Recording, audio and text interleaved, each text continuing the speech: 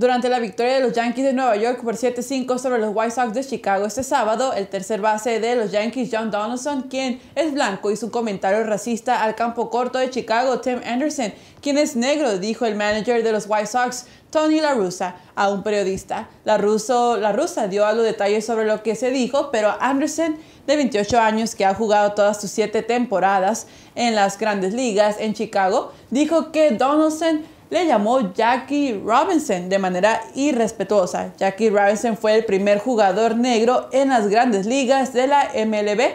Está investigando el, asunto y están hablando, de sobre, hablando con las partes acerca de lo que ocurrió, como puede ver en pantalla.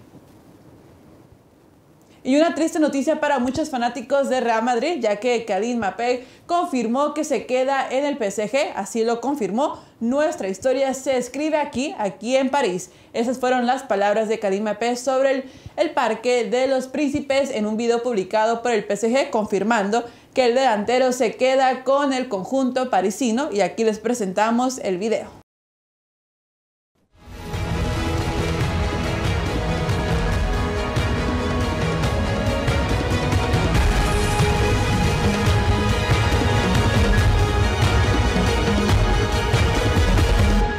Notre histoire s'écrit ici. Ici, c'est Paris.